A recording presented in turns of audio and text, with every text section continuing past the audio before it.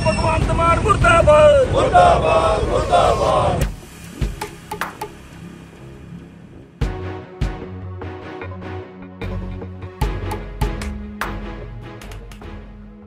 ਕਿਸਾਨ ਮਜ਼ਦੂਰ ਸੰਘਰਸ਼ ਕਮੇਟੀ ਪੰਜਾਬ ਦੇ ਜ਼ਿਲ੍ਹਾ ਆਗੂਆਂ ਦੀ ਅਗਵਾਈ ਵਿੱਚ ਅੰਮ੍ਰਿਤਸਰ ਵਿੱਚ ਹੋ ਰਹੇ G20 ਸੰਮੇਲਨ ਦੇ ਵਿਰੋਧ ਵਿੱਚ ਮੁੱਖ ਮੰਤਰੀ ਪੰਜਾਬ ਅਤੇ ਪ੍ਰਧਾਨ ਮੰਤਰੀ ਦਾ ਪੁਤਲਾ ਫੂਕਿਆ ਗਿਆ। ਇਸ ਮੌਕੇ ਤੇ ਇਕੱਠ ਨੂੰ ਸੰਬੋਧਨ ਕਰਦੇ ਹੋਏ ਜਥੇਬੰਦੀ ਦੇ ਆਗੂ ਸੰਗਠਨ ਸਕੱਤਰ ਸੁਖਵਿੰਦਰ ਸਿੰਘ ਸਬਰਾ ਨੇ ਕਿਹਾ ਕਿ ਪੰਜਾਬ ਅਤੇ ਕੇਂਦਰ ਸਰਕਾਰ ਸਾਡੀ ਕਿਰਤ ਅਤੇ ਸਿੱਖਿਆ ਤੇ ਕਬਜ਼ਾ ਕਰਵਾਉਣ ਦੀ ਤਿਆਰੀ ਵਿੱਚ ਹੈ ਅਤੇ ਜਿਹੜਾ ਅੰਮ੍ਰਿਤਸਰ ਵਿੱਚ G20 ਸੰਮੇਲਨ ਹੋ ਰਿਹਾ, ਉਹ ਇਸ ਵੱਲ ਹੀ ਪੁੱਟਿਆ ਜਾ ਰਿਹਾ ਕਦਮ ਹੈ।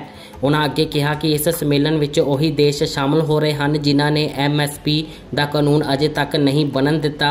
ਇਹ ਦੇਸ਼ ਸੰਸਾਰ ਬੈਂਕ ਦੀਆਂ ਨੀਤੀਆਂ ਤਹਿਤ ਕੰਮ ਕਰਦੇ ਹਨ। ਉਹਨਾਂ ਸਰਕਾਰ ਤੋਂ ਮੰਗ ਕੀਤੀ ਕਿ ਮਜ਼ਦੂਰ ਨੂੰ ਮਨਰੇਗਾ ਯੋਜਨਾ ਤਹਿਤ 365 ਦਿਨ ਰੋਜ਼ਗਾਰ ਦਿੱਤਾ ਜਾਵੇ ਅਤੇ ਮਜ਼ਦੂਰ ਦੀ ਦਿਹਾੜੀ ਘੱਟ ਤੋਂ ਘੱਟ 800 ਰੁਪਏ ਦਿੱਤੀ ਜਾਵੇ। ਗੱਲਬਾਤ ਦੌਰਾਨ ਉਹਨਾਂ ਦੇ ਵੱਲੋਂ ਹੋਰ ਕੀ ਕੁਝ ਕਿਹਾ ਗਿਆ, ਇੱਕ ਵਾਰ ਤੁਸੀਂ ਵੀ ਜ਼ਰੂਰ ਸੁਣੋ। ਕਿਸਾਨ ਮਜ਼ਦੂਰ ਸੰਘਰਸ਼ ਕਮੇਟੀ ਪੰਜਾਬ ਵੱਲੋਂ G20 ਦੇਸ਼ਾਂ ਦੀ ਜਿਹੜੀ ਮੀਟਿੰਗ ਹੋ ਰਹੀ ਆ ਅੰਮ੍ਰਿਤਸਰ ਦੇ ਵਿੱਚ, ਉਹਦਾ ਵਿਰੋਧ ਕਰਦਿਆਂ ਪੰਜਾਬ ਭਰ ਦੇ ਵਿੱਚ ਪੁਤਲੇ ਫੂਕੇ ਜਾ ਰਹੇ ਆ। ਉਸੇ ਕੜੀ ਤਹਿਤ ਜ਼ਿਲ੍ਹਾ ਜਲੰਧਰ ਦੇ ਜਾਂਬਾਜ਼ ਅੱਜ ਆਗੂਆਂ ਨੇ ਆਪਣਾ ਸ਼ਾਹਕੋਟ ਚੌਂਕ ਦੇ ਵਿੱਚ ਪੁਤਲਾ ਫੂਕ। ਕੇ ਇਸ ਗੱਲ ਨੂੰ ਪੱਕਿਆ ਕੀਤਾ ਵਾ ਵੀ ਸਾਡੀ ਕਿਰਤ ਤੇ ਸਿੱਖਿਆ ਜਿਹੜੀ ਆ, ਇਹਦੇ ਤੇ ਪ੍ਰਾਈਵੇਟ ਲੋਕਾਂ ਦਾ ਕਬਜ਼ਾ ਕਰਾਉਣ ਦੀ ਕੇਂਦਰ ਤੇ ਪੰਜਾਬ ਸਰਕਾਰ ਦੀ ਤਿਆਰੀ ਆ। ਸੋ ਇਹ WTO ਦੀਆਂ ਨੀਤੀਆਂ ਨੂੰ ਜਿਹੜਾ ਲਾਗੂ ਕਰ ਰਿਹਾ, ਮੁਦਰਾ ਕੋਸ਼ ਫੰਡ ਦੀਆਂ ਨੀਤੀਆਂ ਨੂੰ ਜਾ- ਲਾਗੂ ਕਰ ਰਿਹਾ, ਵਿਸ਼ਵ ਵਪਾਰ ਸੰਸਥਾ ਦੇ ਕਹਿਣ ਅਨੁਸਾਰ ਚੱਲਦੇ ਆ। ਉਹ ਦੇਸ਼ ਤੇ ਮੀਟਿੰਗ ਕਰ ਰਿਹਾ, ਜਿਨ੍ਹਾਂ ਨੇ ਐਮਐਸਪੀ ਦਾ ਕਾਨੂੰਨ ਅਜੇ ਤੱਕ ਨਹੀਂ ਬਣ ਦਿੱਤਾ।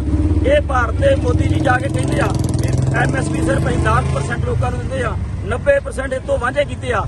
ਅਸੀਂ ਕਹਿਣਾ ਚਾਹੁੰਦੇ ਆ ਵੀ ਇਹ 100% ਜਿਹੜੀ ਐਮਐਸਪੀ ਜਾਰੀ ਕੀਤੀ ਜਾਵੇ ਔਰ ਸਾਡੇ ਮਜ਼ਦੂਰ ਨੂੰ ਮਨਰੇਗਾ ਤਹਿਤ ਪੂਰਾ ਸਾਲ ਕੰਮ ਔਰ ਪੀਐਨ ਦੀ ਤਨਖਾਹ ਮੁਤਾਬਕ ਲਗਭਗ 800 ਰੁਪਇਆ ਦਿਹਾੜੀ ਦਿੱਤੀ ਜਾਵੇ। ਨਹੀਂ ਤੇ ਆਉਣ ਵਾਲੇ ਦਿਨਾਂ ਦੇ ਵਿੱਚ ਹੋਰ ਜਥੇਬੰਦਾਂ ਨਾਲ ਲਾਣਾ ਬਾਣਾ ਇਕੱਠਾ ਕਰਕੇ ਇਹ ਸੰਘਰਸ਼ ਨੂੰ ਵੱਡੀ ਪੱਧਰ ਦੇ ਉੱਤੇ ਸ਼ੁਰੂ ਕੀਤਾ ਜਾਊਗਾ। ਧੰਨਵਾਦ। ਵਾਹਿਗੁਰੂ ਜੀ ਕਾ ਖਾਲਸਾ। ਵਾਹਿਗੁਰੂ ਜੀ ਕੀ ਫਤਿਹ।